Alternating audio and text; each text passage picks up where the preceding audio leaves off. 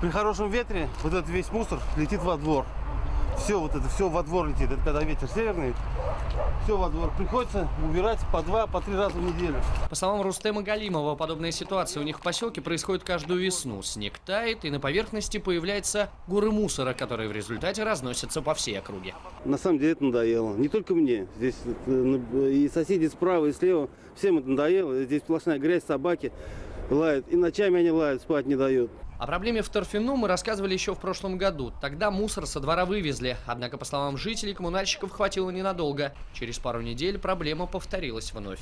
Поезда ходят. Ну как вот не стыдно вот. Там сколько людей в поезде смотрят на эту грязь, на этот бардак. Тут самосырово устроили. Полное самосырово. Почти всю зиму не убирали. Вот. Никогда не убирают. Ну, с, снегом засыпает, конечно, зимой-то что. Потом тут собаки птицы, все это разносят. Несанкционированная свалка возле жилых домов в поселке Торфяной далеко не единственная. Если проехать примерно 100 метров по этой дороге в сторону дачных поселков, то можно увидеть этот участок. А несмотря на то, что здесь также есть контейнеры для мусора, площадь загрязнения этой территории примерно 100 квадратных метров.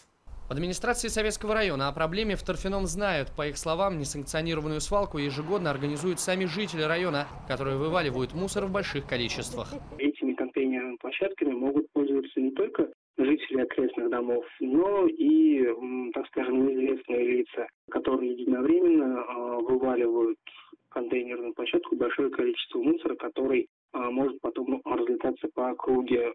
К сожалению, такие случаи бывают. Завтра весь мусор, который находится на контейнерной площадке по адресу Торфяная 46 будет вывезен. Жители поселка просят администрацию района не убирать мусор, а убрать площадку для мусора подальше от их домов. Они даже готовы следить за тем, чтобы мусор и бытовые отходы здесь больше не выбрасывали.